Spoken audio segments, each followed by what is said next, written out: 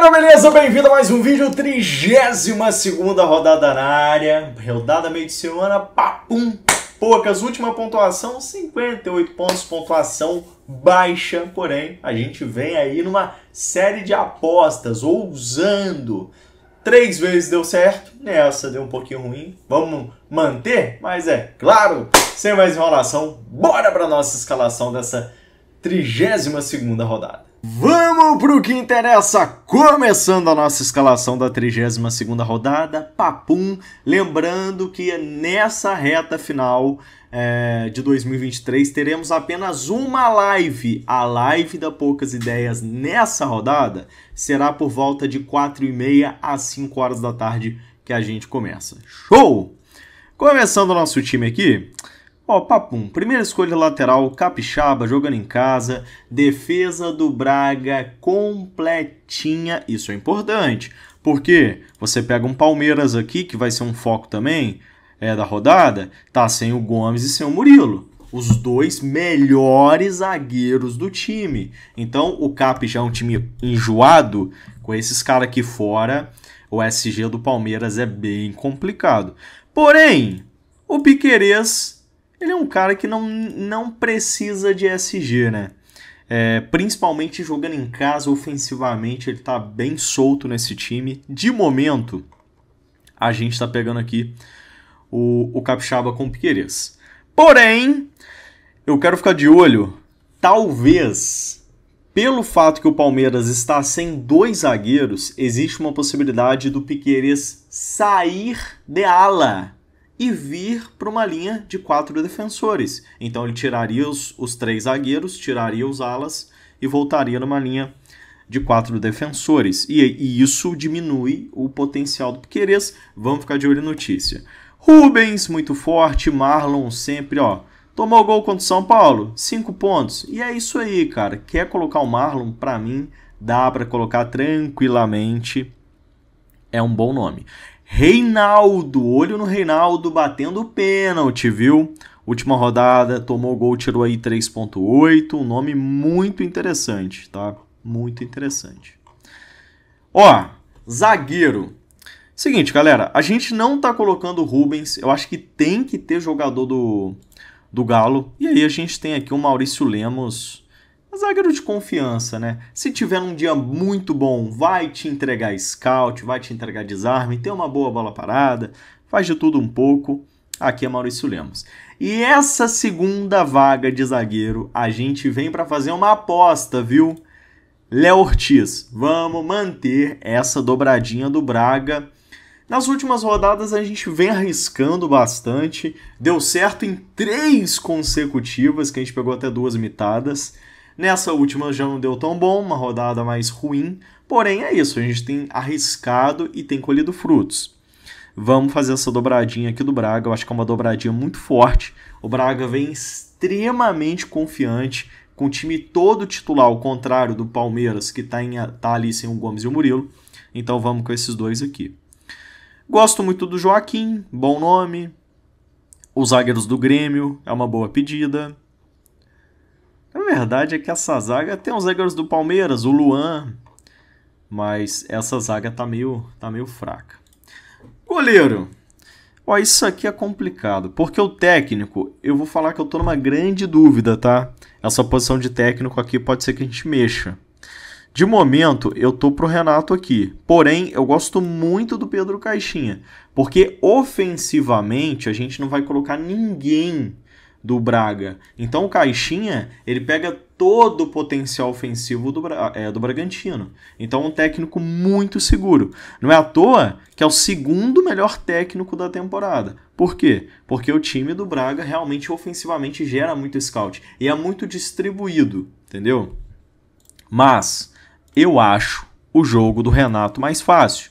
E a gente pode ter um Bahia com alguns desfalques. Rogério Senna já falou na coletiva se tiver que poupar, ele vai poupar nos jogos fora de casa, nos jogos mais difíceis, para focar tudo nas decisões em casa. Porém, a gente vai ter a escalação de Grêmio e Bahia, a gente vai saber exatamente qual time vem a campo. Galera, goleiro, olha, de momento eu tô de grando, mas aqui eu já vou deixar uma grande observação. A defesa do Grêmio toma gol em todos os jogos possíveis. É um time que raramente mantém o SG.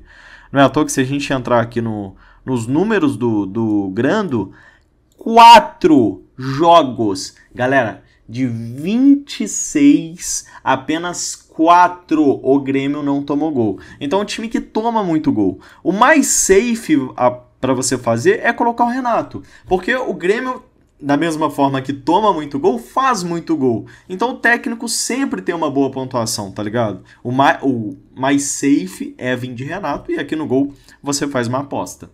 De momento eu tô tigrando, mas aqui é vaga completamente aberta. Pode ser que a gente venha para variação, pode ser que eu venha para uma dobradinha de Braga e dobradinha de Galo. Gosto bastante. É... E é basicamente isso aí, tá? Ou até mesmo dobrar o, o Bragantino com o goleiro e vir aqui para o Joaquim, tá ligado? Tem aqui algumas possibilidades que a gente pode estar tá fazendo, mas de momento vamos de grando mesmo, tá? É isso aí. Vamos lá, galera. Partindo aqui agora pro ataque. Soares em casa, a gente sabe que o cara sempre crava. Soares em casa é insano. Capitão e vambora. Segunda escolha, eu acho que tem que ter um atacante do Galo e dá para você até dobrar tranquilamente esse ataque do Galo, um ataque que está funcionando muito. Tudo que o Atlético Mineiro faz passa pelo pé do Hulk do Paulinho. Então você, o problema é, é o de sempre, né? Escolher um dos dois e aqui eu já falei que é, um, é uma grande loteria. Na última a gente foi pro Paulinho, nessa eu tô querendo colocar mais o Hulk, porque fora de casa o Hulk costuma ser melhor que o Paulinho. O Paulinho na Arena MRV ele tá insano. O Hulk fora de casa, eu acho que ele tem um destaque um pouco maior, tá? Essa última vaga, olho no Verrete. O Botafogo, ó, o Botafogo vem de uma derrota tenebrosa, começa por aí. E o Botafogo tá sem Marlon Freitas, Adrielson e Cuesta. Simplesmente todo o setor defensivo, o melhor volante, os dois zagueiros que estão sendo totalmente aí é, importantes na temporada. Então esse Verrete, para quem quer ousar, arriscar, eu acho um nome exaço para a rodada. Marcos Leonardo jogando em casa aqui, a gente sempre põe porque o homem o homem crava e não é pouco, né? É bom destacar que o Cuiabá não é à toa um dos melhores visitantes do campeonato pode ser a mesma coisa que aconteceu aqui, ó. O Bota... Se bem que o Botafogo tá foda, né? mas pegou o Cuiabá e o Tiquinho não fez nada. Foi 1 a 0 o Cuiabá. O Cuiabá gosta desse tipo de jogo, mas aqui entra a questão da confiabilidade. O Marcos Leonardo, basicamente, todas as vezes que a gente colocou ele em casa, o homem brocou. Então vamos manter. Vamos manter. Deixa eu ver se tem algum outro nome aqui para baixo. Cara, o Hendrick vem de uma partidaça. Momento, futebol é momento. Quiser dar uma arriscada, interessante. Pode ser que ele venha com muita vontade para esse jogo. Um Daverson, eu acho um nome bem legal. Tem finalizado pra caramba e essa defesa do Santos tem dado espaço. Tem dado espaço. O ataque do Braga é interessante. Mas é isso aí, tá? Eu ficaria com essas opções. E agora vem o X da questão, né? Começando com o Veiga. O Veiga, para mim, é uma certa unanimidade para a rodada. Vamos falar de todas as opções. Olha, eu gosto do Bragantino. O Benítez, que jogou muito mal contra o Inter, andando em campo e tudo mais, e mais um nome interessante. Temos aqui o Emmanuel Martinez, é sempre jogador de garantia de pontos. É, tá fraco, galera. Tá fraco de meio de campo. Mas eu tenho uma parada aqui esse Grêmio. Aliás, a Rascaeta, a gente estava esquecendo. A Rascaeta é prioritário para rodada, mas eu tô querendo fazer uma ousadia nessa. Tô gostando do Flamengo nos últimos jogos, não. Para mim tem jogado muito abaixo. Tipo, todo time tá jogando muito mal.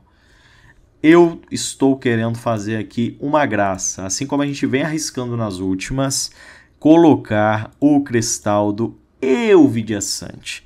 Porque eu acho que um dos dois aqui vai muito bem. A questão é qual? Nessa, pô, entre dois ano e um na mão, eu pego esses dois aqui e garanto um. Vidiaçante, nessa, nessa linha de ala que o Grêmio tá jogando, é onde ele joga melhor. É onde ele pisa mais dentro da área. O Cristaldo, a gente nunca sabe quando ele vem para campo, é tipo um Carlos Eduardo da vida. Então, eu gosto muito de dobrar e garantir esse Grêmio. Acho que é uma estratégia muito válida para a rodada, tá? Galera, basicamente isso. Demos aqui uma, um geralzão. Tem live da Poucas Ideias amanhã, sábado, a partir das 4h30, 5 horas da tarde. E é isso. Fiquem com Deus, forte abraço e bora mitar!